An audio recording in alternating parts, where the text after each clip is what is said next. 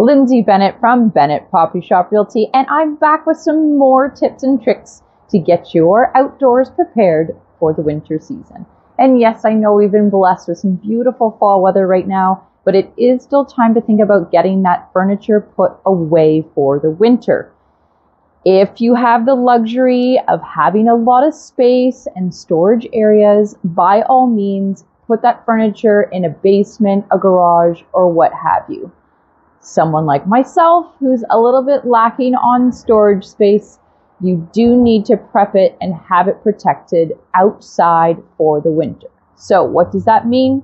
Like many of you, you probably have some decor pillows like these.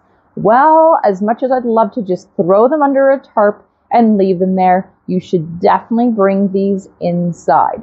Why? One, well, the little critters like mice and squirrels and what have you would love to use these as their home over the winter. So if you want to keep these around for the following spring, definitely bring them inside.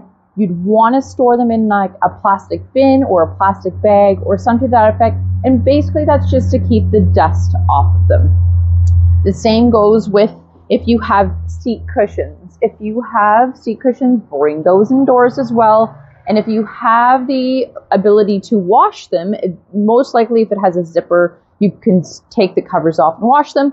I would suggest washing them now and then storing them away for the winter. That way, come springtime, everything's ready to go, and you can just set up that furniture and start enjoying the beautiful weather.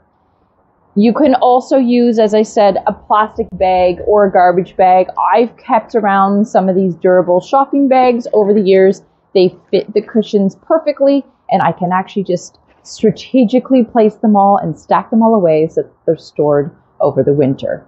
Um, other things to consider if you have rugs, um, you definitely want to bring those inside. Do not leave those outdoors. They're just going to get moldy and mildew and potentially just fall apart altogether. So, on a great dry day like today, bring those carpets in, shake them off, get rid of them all the dust and roll them back up and store them away inside. Um, for the furniture itself, if you can stack it up, I mean, that's always the best. If you're buying furniture, find ones that you can kind of stack on top of each other to maximize your storage.